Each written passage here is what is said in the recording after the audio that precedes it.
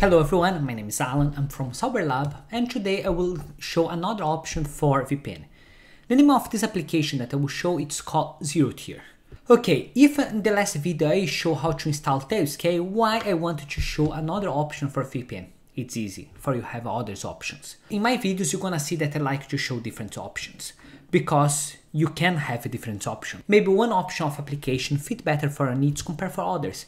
So you don't need to stay always in the same application or do always the same way. You have a lots of different options to choose. This reason I wanted to show this zero tier because it's another option for VPN and this one don't need any configuration, basically zero configuration. If you like this idea and want to know a little bit more about uh, this program, don't, don't forget to leave the like, subscribe for the channel and let's see how to do it.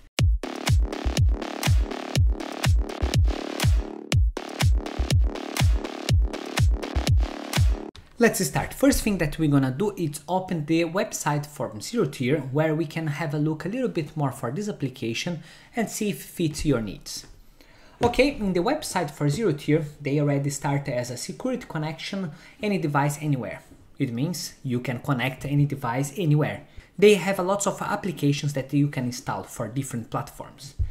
If you go there, you can see how to build your network, but not yet. We're gonna down a little bit and they say that have more than 3 million device connected, also have 7k uh, GitHub starts, and a monthly active user is more than 550,000 users. Seems quite a lot. Okay, if you go down a little bit, they say that uh, you can connect your team or your cloud or your desktop anywhere, anyway, and it's quite easy to do it with different networks. If you go a little bit down, they try to explain how it's work, the connections between network. It means that you can do one network that's connect this application, then another network that connect this device, and another network that connect this device, and therefore everything connect for zero tier. This way you have a fast speed, what they advise, a flexible, you can have two layers or more layers of network. Also have the security for zero tier that you have a encryption for all your data going through the network and outside for the network. Remember, this one is not a VPN provider where they encrypt your data for outside the, your ISP. Basically, this VPN it's only for you be able to access externally your network to your network. So if you look for a specific VPN to connect outside, look for others provide for a VPN. This one it's only to connect your home network. This reason that's going here. And that they have different size that you can choose in our case, we go for individual users because we don't have a massive plant and lots of users. If you want to go for a little bit more users, you can do, but then we'll have the pricing. If you come here in the pricing now, as I told, we go for individual use or basic, where we have up to 50 members for the network, one administration, and have the support for community. It means that zero tier will not support you for your installation, as usually GitHub have lots of information that you can look on it. If you go for a, a option that is a professional one that costs 49 pounds a month, you can have up to 500 users, 10 administration, have a priority support, and if you need more than 500 users, that's not be my case, you can connect the enterprise option and that you can find your needs. Here they, they say a little bit for the license that you are getting as well if you want to contact them, but it's not the case. Okay, now we go back here in the option for download and we're gonna see which platforms that they have for download. And here it's quite easy. Windows, Mac OS, Android, iOS, Linux, FreeBSD, and NAS. It means that you can install almost all the platform that you want. If they're able to install in Android, it means that they have support for ARM, Probably you're gonna be able to install in Raspberry Pi. I don't see any problem for it. And now you're gonna install using Linux option. Here the both options that you can install. The first one required that you have uh, SSL authentication for your site. This is this is the option that if you want a little bit more secure, you can use your own SSL certification as well to connect to your own site. But in our case, we're gonna install the more secure option that they say that you don't require any certification SSL they are doing everything for you. So we're gonna install this option. To do the installation, we're gonna install in an OpenMediaVault, this reason that I decided the Linux option. So let's start to install. The device that I'm gonna install, it's an OpenMediaVault, and that's uh, have the operating system Debian. But as well, we'll work with uh, Ubuntu. So if we open our OpenMediaVault, the IP address that is, is installed, this OpenMediaVault, it's 192.168.1.88. So we can open our PuTTY and start the installation. As, as this OpenMediaVault it's recently installed, they don't have the curl option, so I need to install it. Before I install, I leave this one proposally. I didn't make the update of my library. When I try to install it, they will have a problem, an error that will not find information, only to show why it's really important for you to update your library really often before any installation. So I'm gonna run it. They ask if I want to reinstall it. I will go yes, and done. Failure. They say that they didn't find this information for installation for the curl. Why? My library is not updated. So they suggest me to run apt get update.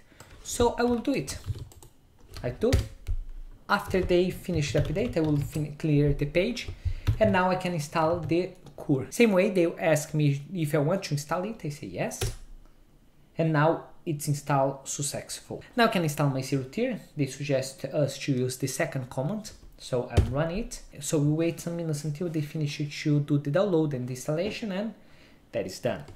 They say that my address is this one for my device. So I will need to use it for input or I can have the other option to join my connection. So I go to my zero tier and do the login. Once that I do the login, uh, they will open this page. This page means that I need to create my connection. So I go there and click create a network. Here the red appear my network that I create. I will open this network option and I will start to edit it. Here it's my network ID. Here I will change the name of my network, put Cyberlab. I can put any description, but in this case I will not put anything. I can define which kind of connection that I want, if I want private or a public. If I put public, each 30 days they will be removed and I need to rejoin it. If it's private, they will become a member, never need to rejoin it, and it's easy. So I can go down and here they suggest the IP address that I'm using. Here's the internal IPs of my router that they suggest. If I go here, I can use any of those options. In this case, I will leave the red suggest one, but I can decide any one of those. And then I go down if I have a subdomain that I want to connect and the IP address of my server and I can submit it. We are not going to do it. If you want to do it, feel free, but uh, I don't need to do it. And here I can add manual my user. Previously, I copied the address of my user, so I can come here and paste and put submit. The red appear here, my user, and I can define the name of my user. The name of my user is OMV6.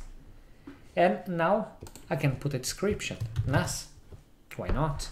Now I can come here and put allowed network bridge it means that it will be a bridge between devices. So we can leave it and update our page now.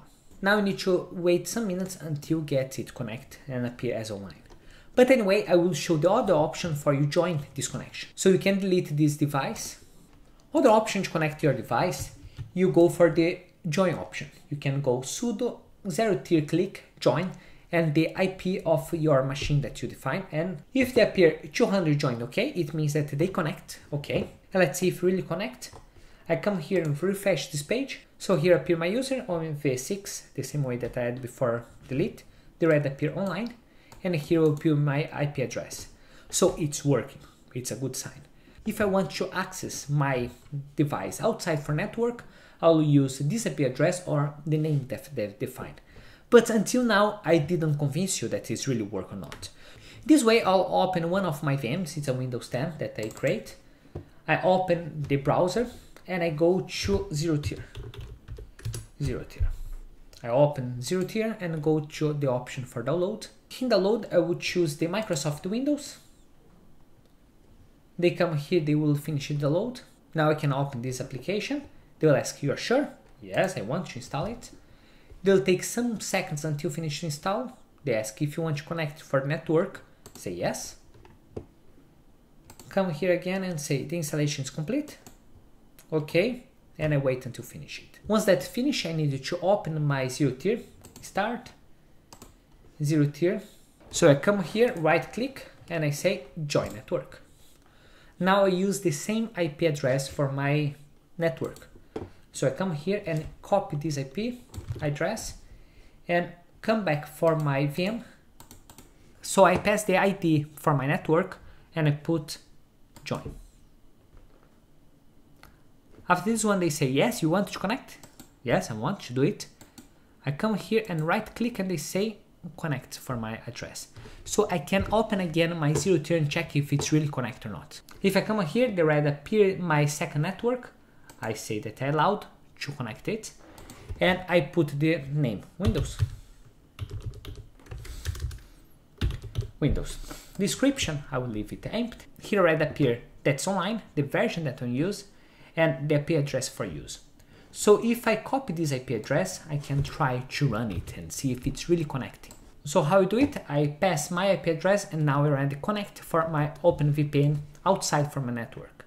As well, you always can put slash OMV6 and run. As well, you can connect for your OpenMediaVault. So you don't need to only choose stop for the IP address that they have. You can use as well the name that you define.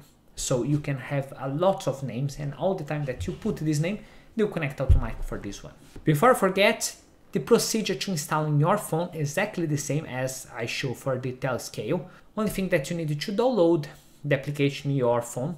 Instead of making the login, you need to join the connection with the same IP address that you used to join for the Windows option. It's done, that's it. Really easy, zero configuration, as I told, don't need port forwarding, don't need anything. So in this video I show another option of VPN that you can use where it's required zero configuration, so it's really good for you. If you like this video and didn't leave your like yet, please leave your like, subscribe for the channel and see you next video. Bye.